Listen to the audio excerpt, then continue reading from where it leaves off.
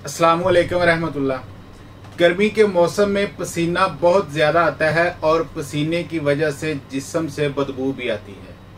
और इस पसीने की बदबू अक्सर अफराद को मुआशरे में शदीद शर्मिंदगी से भी दो चार कर सकती है।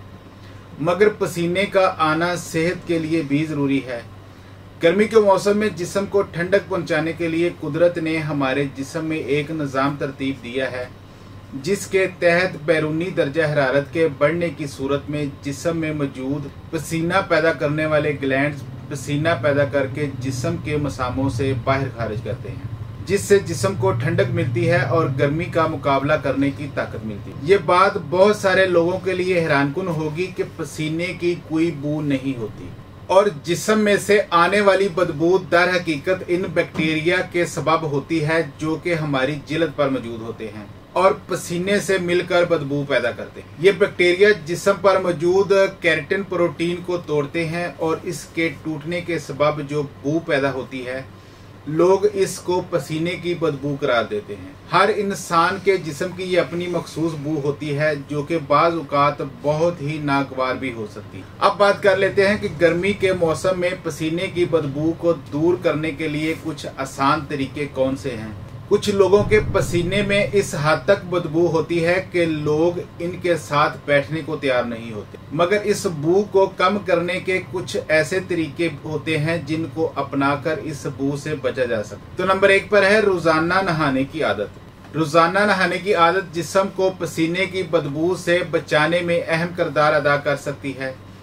क्योंकि इंसान जब नहाता है तो इसके जिस्म के कुछ खास हिस्सों में जहाँ पर बैक्टीरिया घर बना लेते हैं, जिनमें बगलें रानों के अंदरूनी हिस्से और जिनसी अजा शामिल है, इन हिस्सों को धोने से वहाँ के बैक्टीरिया ख़त्म हो जाते हैं, जिससे पसीना आने पर वहाँ बदबू पैदा नहीं होती। नंबर दो पर है हाइड्रोजन प्रोक्साइड का इस्तेमाल।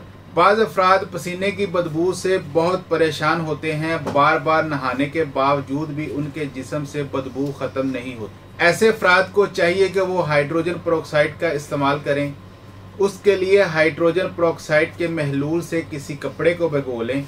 इस भीगे हुए कपड़े से जिसम के उन तमाम हिस्सों को अच्छी तरह साफ़ करें जहाँ पर पसीने की बदबू आती है। मिसाल के तौर पर बगलों रानों के अंदरूनी हिस्सों वगैरह पर।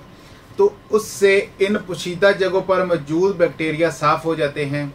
और उसके बाद जब इन हिस्सों पर पसीना आता भी है तो उसमें बदबू नहीं होती। इस अमल को बार बार दोहराने की ज़रूरत होती है, ताकि इन जगहों पर मौजूद बैक्टीरिया को खत्म किया जा सके। नंबर तीन पर है पसीने वाले कपड़ों की तब्दीली। अक्सर अवकात एक्सरसाइज वगैरह करने की वजह से कपड़े पसीने से भीग जाते हैं, जिनमें बैक्टीरिया पैदा हो जाते हैं। ये बैक्टीरिया कपड़ों के खुशक होने के बाद भी बदबू का बायस बनते हैं। इस बदबू से बचने के लिए ये लाजमी है कि गर्मी में ऐसे कपड़े पहने जाएँ जो सूती हों और जिनमें हवा का दाखला हो सके। इसके अलावा कपड़ों के पसीने में भीगने के बाद उनको फ़ौरन तब्दील करने की आदत अपनानी चाहिए। इसके अलावा रोज़ाना धुले हुए कपड़े पहनने से भी पसीने की बदबू को रोका जा सकता है। नंबर चार पर है गजा में एहतियात। बाज गजाएँ भी बाज अवत पसीने की बदबू को बढ़ावा देने का बायस बन सकती हैं। मिसाल के तौर पर ज़्यादा मसाले वाले खाने, ज़्यादा प्याज और लहसुन वाले खानों से भी पसीने में इनकी बदबू शामिल हो सकती है। इस वजह से गर्मी के मौसम में आम तौर पर ऐसे खाने से परहेज करना चाहिए। नंबर पाँच पर है एंटी बैक्टीरियल साबन और डिओड्रेंट का इस्तेमाल।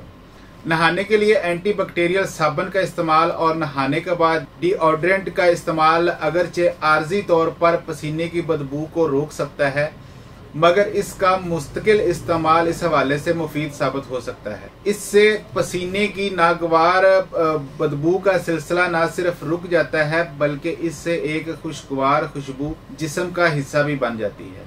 नंबर छह पर है डॉक्टर से रजू करना। बाज अफराद ज़्यादा पसीना आने की बीमारी में मुबतला होते हैं। इस बीमारी को हाइपर हाइड्रोसिस कहा जाता है। इस बीमारी के शिकार अफराद को बहुत ज़्यादा पसीना आता है, जिसकी वजह से बैक्टीरिया की नशोनुमा बहुत ज़्यादा बढ़ जाती है। इस वजह से पसीने की ज़्यादा की वजह से बदबू रोकने की हर तदबीर नाकाम साबित हो जाती है। इस सूरत में जिलत के माहिर डॉक्टर से या फिर एंड्रोक्राइन के माहिर डॉक्टर से रजू करना बेहतर साबित हो सकता है। अगर आपको ज़्यादा पसीना आने की वजह से बदबू का सामना करना पड़ता है तो इस वीडियो में बताई गई टिप्स पर अमल करें। और पसीने की बदबू से जान छुड़ाएँ अपना बहुत सारा ख्याल रखिएगा। अल्लाह हाफिज़।